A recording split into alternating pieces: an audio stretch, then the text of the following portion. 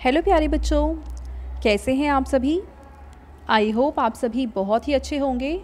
बच्चों, इस वीडियो में हम डिस्कस करेंगे S C E R T के द्वारा शुरू किए गए पठन अभियान के तहत क्लास थर्ड की मैथ्स की वर्कशीट नंबर 41 जो कि 8 मार्च 2022 की वर्कशीट है, और बच्चों, इसका थीम है फैमिली आप यहाँ अपना नाम लिखेंगे और यहाँ आप अपनी टीचर का नाम लिखेंगे।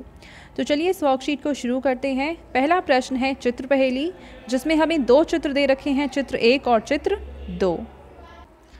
तो बच्चों, इन दोनों ही चित्रों को देखते हुए आपको इनमें कोई चार गलती या चार अंतर ढूँढने हैं। तो देखिए, पहली गलती या अंतर ये है कि यहाँ पे सिर्फ़ दो लाइन है, जबकि यहाँ पे तीन लाइन है।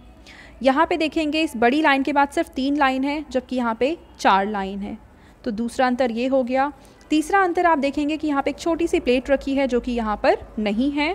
और इसके अलावा हम देखते हैं कि यहाँ पे चार लाइन है, जबकि यहाँ पे सिर्फ़ तीन लाइन है। ठीक है? अगला प्रश्न है, नया घर।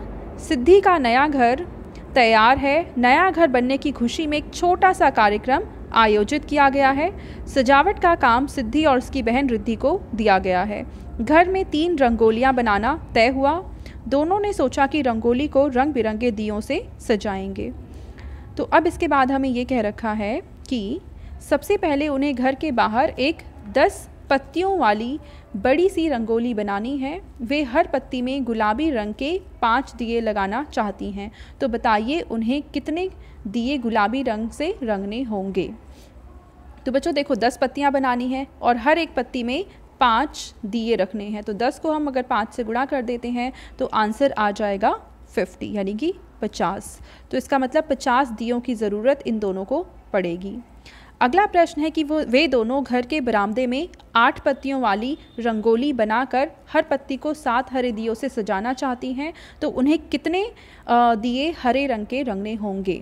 तो अब यहाँ पे देखेंगे कि पत्तियाँ हैं आठ और उसमें हर एक पत्ती में लग रहे हैं सात दिए, इसका मतलब कुल दियों की संख्या है फिफ्टी सिक्स अगला प्रश्न है कि बैठक के अंदर छः पत्तियों वाली छोटी सी रंगोली बनाई जाएगी।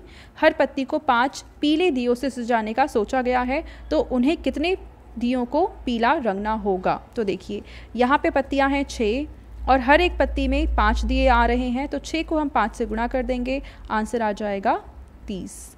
और इसके बाद चौथा प्रश्न है कि सभी रंगोलियों को सजाने के लिए उन्हें कुल कितने दिए रंगने होंगे? तो देखिए, पहले थे पचास दिए उसके बाद है छप्पन दिए और उसके बाद है तीस दिए।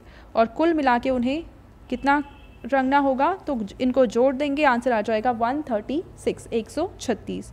अब आपके पेरेंट्स के लिए सुझाव है कि बच्चों को बताइए कि घर के सभी कार्यों में सारे सदस्यों की भागीदारी महत्वपूर्ण होती है। तो बच्चों, ये थी आज की हमारी मैथ्स की वर्कशीट एंड आई होप आप सभी को ये वर्कशीट बहुत ही अच्छे से समझ में आई होगी। और बच्चों, अगर आपको वीडियो पसंद आई है तो उसको ज़रूर लाइक करें, अपने फ्रेंड्स के साथ भी शेयर करें, और इस चैनल को सब्सक्राइब करना बिल्कुल ना भूलें। Thank you